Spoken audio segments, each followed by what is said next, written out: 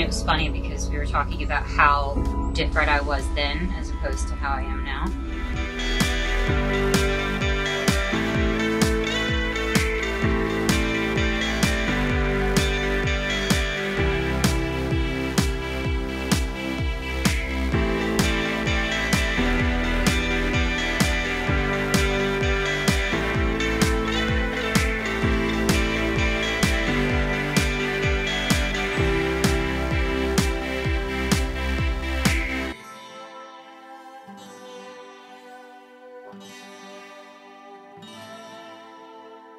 Bye.